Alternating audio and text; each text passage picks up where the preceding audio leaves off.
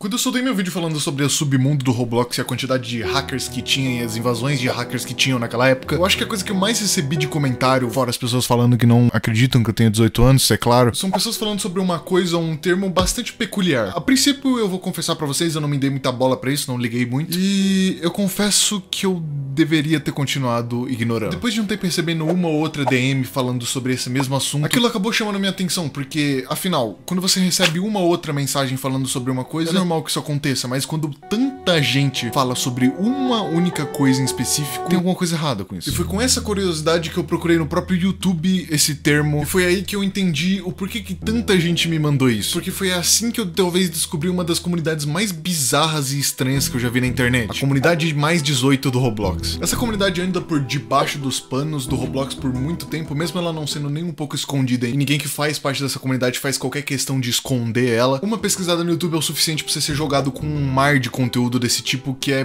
nojento e horrível. E por algum motivo peculiar, isso passa batido na fiscalização do YouTube e eles não fazem absolutamente nada a respeito a esse monte de conteúdo e explícito que tem no YouTube. Por isso que se esse vídeo aqui cair, eu vou ficar muito bravinho. Porque o que eu descobri com essa comunidade é meio bizarro. Eu passei um tempo analisando e vendo essa comunidade de perto para ver como que ela agia e o que que ela fazia e por que tinha tanta gente tão fissurada nessa coisa para eu poder fazer esse vídeo aqui. Eu espero que vocês estejam muito bem preparados porque hoje a gente vai dar uma olhada numa das comunidades mais bizarras da internet, para entender exatamente o porquê e como ela existe.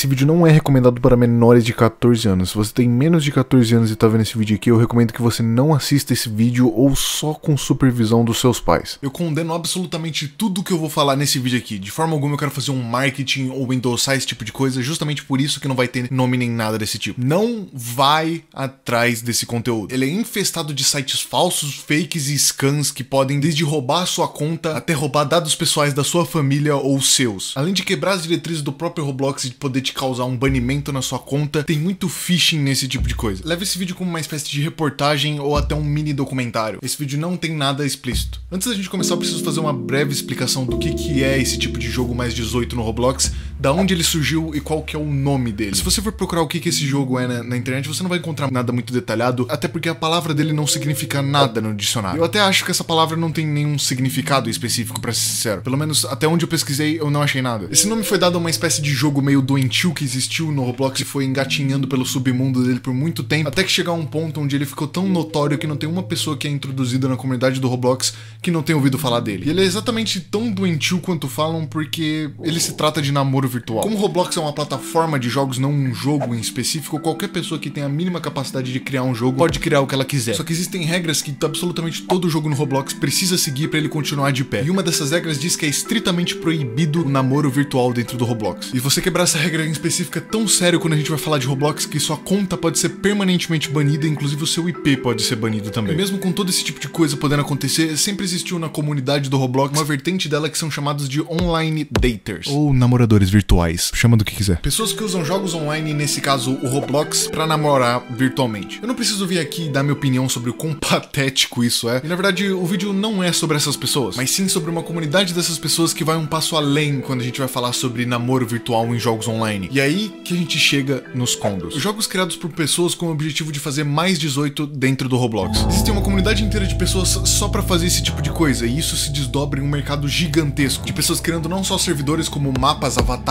animações e até modelos para esse tipo de coisa. Tudo para poder importar para dentro do jogo e fazer elas desfrutarem disso. Não, não me pergunta, cara. Só sei que a dedicação das pessoas ficaram tão grandes em criar esse tipo de coisa que ele não se limitou a só isso. Mas calma que a gente já vai chegar nesse ponto. É muito difícil de determinar exatamente de onde que esses condos surgiram ou o que exatamente fez eles serem do jeito que eles são hoje em dia, porque eles não eram desse jeito. Segundo esse cara aqui que fez esse vídeo falando sobre esse caso, assim como eu tô fazendo, a teoria dele é que esse tipo de jogo saiu de um estilo de jogo chamado Hangout, que era um tipo de local muito utilizado por esses namoradores virtuais. Um espaço para você teoricamente socializar que acaba virando uma balada virtual. Só que com o passar do tempo as coisas foram evoluindo, esses mapas, esses hangouts que eram feitos para pessoas que quebravam as regras do Roblox, passaram a eles mesmos quebrarem as regras do Roblox. Ou mais precisamente, a regra 9 in inteira do Roblox, a regra de conteúdo sexual. Outro cara que se não fosse por ele, ele não teria boa parte das informações que eu tenho aqui pra esse vídeo, o link dele tá aqui. Valeu por ter me ajudado, maninho. Diz que o comportamento dessas pessoas veio por partes do VR chat, já que esse tipo de mapa mais 18 se comporta exatamente como se comporta no Roblox e tem até características parecidas. Pessoas entram em mundos mais 18 dentro do Roblox para poder fazer esse tipo de coisa igual fazem no VR chat. E se você parar pra pensar, isso até faz sentido. A comunidade do Roblox já copiou o comportamento de outros jogos no passado com essa somado mais a teoria da outra pessoa até que talvez faça sentido. De acordo com um vídeo do próprio Green Lego Cats, depois de um tempo assim que esse estilo de jogo Hangout foi se deteriorando mais e mais no seu conceito, um estilo de jogo surgiu em cima dele, os Decondo. Inclusive um nome alternativo que eles usavam também era um nome chamado Sentend Con, onde basicamente era a mesma ideia. Esse estilo de jogo não era uma parada que era conhecida. Eles eram como versões mais explícitas de festas do Mip City, um jogo onde você pode dar festas. Dentro desses contos, a ideia era basicamente a mesma, com a diferença de que por você não estar tá atrelado a um jogo como as festas do Mip City, então o dono do mapa poderia fazer absolutamente o que ele quisesse. E é aí que a bizarrice começou. A cada dia que passava, um novo Decondo era criado, e esse tipo de conteúdo sexual e nojento e bizarro continuou crescendo e crescendo nesses jogos, até que chegou um ponto onde o Roblox teve que intervir nisso. O Roblox acabou banindo a palavra Decondo ou Sentendicon e esse tipo de palavra das buscas da plataforma, o que fariam esse tipo de mapa ser praticamente impesquisáveis e todo tipo de mapa que parecia igual esses foram banidos e totalmente deletados da plataforma,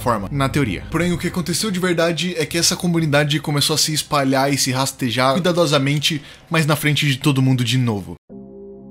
Com Roblox de olhos bem abertos nesse tipo de jogo, não teria como um jogo desse ser publicado e deixado público. Ele automaticamente cairia em um ou dois minutos depois que ele fosse publicado. Até porque também os próprios donos desses mapas nunca fizeram nem fazem muita questão de esconder esses mapas e quem criou eles. Você só não encontra hoje em dia porque se eles ficassem públicos a todo momento para qualquer pessoa poder encontrar eles, eles cairiam no mesmo minuto. E por causa disso, essa comunidade teve que se desdobrar para arrumar um jeito de conseguir continuar publicando esses jogos, mesmo com Roblox indo atrás deles. E depois de um tempo, eles eles conseguiram encontrar um método. Esses jogos hoje em dia funcionam em um monte de Discord privado que só quem tem link consegue entrar. Eles criam ou conseguem uma conta fake para upar esses mapas dentro dessa conta e você consegue dizer que é uma conta fake justamente por conta do nome. Então eles colocam um jogo público com um nome completamente aleatório para dificultar encontrar. Então as pessoas entram através de links para poder acessar a página do jogo. Porque linkar esse jogo a uma conta e fazer essa conta ser pesquisável é praticamente condenar essa conta à morte. E assim que esses jogos ficam públicos, as pessoas têm a diversão delas, ou o que quer que seja isso, em coisa coisa de 5 a 10 minutos, esses mapas são banidos e todo mundo cai do jogo. Agora, como eles conseguem encontrar isso em tão pouco tempo, eu não faço a mínima ideia. Só que mesmo que esses mapas durem alguns poucos minutos, e mesmo eles sendo tão chatos, difíceis de você conseguir entrar em um, eles ainda são muito populados, chegando a ter pelo menos 300 players ativos jogando. Muita gente participa dessa comunidade estranha que tem no Roblox, que eu acho ainda mais estranho visto o quão perigoso é participar disso. Não é difícil de você encontrar pessoas usando links falsos de sites que aparentemente são o Roblox para poder pegar seu IP ou fazer coisas como pegar o cookie do seu navegador e poder logar na sua conta. Entrar nesse tipo de comunidade é uma coisa muito perigosa porque além de você estar tá correndo o próprio risco de você estar tá entrando em um lugar que não é permitido pelo Roblox, e por isso você vai estar tá completamente desprotegido porque se alguém conseguir acesso às suas contas, você praticamente vai perder sua conta e não tem nada que eles possam fazer para te ajudar. Mesmo assim, não faz sentido gostar desse tipo de jogo. Esses jogos são uma coisa muito problemática e tentar entender o porquê que as pessoas gostam disso é uma tarefa mais difícil ainda. Acredite em mim, pessoas entram nesses jogos públicos para ter uma suposta diversão ou algo desse tipo, que vai durar no máximo 5 minutos e então elas vão esperar horas para entrar de novo no mesmo jogo. Eu fiquei analisando essa comunidade por um tempo pra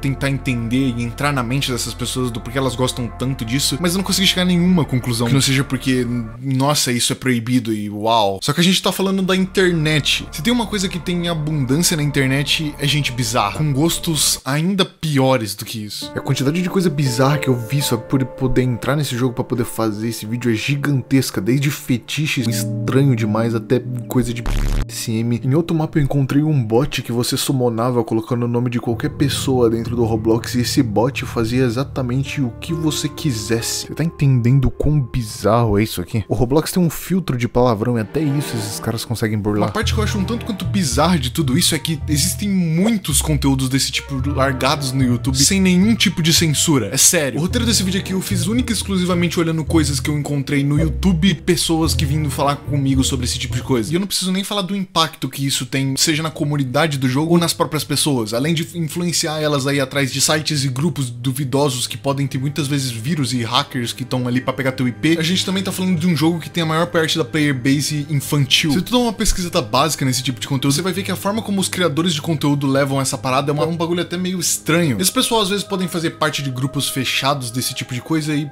por mim, meio que foda-se. O Roblox já tem essa situação sobre controle, mais ou menos, porque como você pode ver, esse tipo de jogo cai no mesmo instante que ele é público e muita gente entra nele. Mas não tem como ignorar o fato que esse tipo de jogo coexiste junto com um monte de jogos infantis na plataforma e que eles acabam servindo muitas vezes de golpe ou só coisa errada que criança não deveria estar tá vendo. Muita criança cai e acaba perdendo a conta ou sendo traumatizada, justamente por causa de gente mal intencionada. Essa parada em si já é algo bem conhecido lá fora, isso já chegou até chegar em jornais como o BBC, por exemplo. Na verdade, eu errei não é BBC, é CBS, mas ainda assim é um jornal e fala sobre a mesma coisa. Por isso eu decidi juntar isso aqui tudo para alertar e mostrar a todo mundo quanto isso é bizarro e quanto esse mundo existe no submundo do Roblox, muito mais profundo de qualquer coisa que eu já falei aqui. Essa comunidade tem até um próprio mercado para eles que serve para eles comercializar esse tipo de coisa. Assim como tudo que tem um submundo na internet também tem um comércio em volta disso. Servidores desse tipo de coisa vão entre 10 a 30 mil membros e eu nunca vi ninguém falando sobre isso. Esse negócio é uma coisa muito famosa. Enfim, não vale a pena ir atrás desse tipo de coisa. Eu já falei o quanto isso é perigoso. Não é como se você precisasse entrar nesse tipo de jogo para tomar uma atitude sobre isso. Mas é isso. Se você quiser mandar isso pra algum amigo seu para divulgar e me ajudar, seria ótimo. Muito obrigado por ter assistido até aqui. E eu acho que eu te vejo outro dia. Se cuida, fica longe desse tipo de coisa.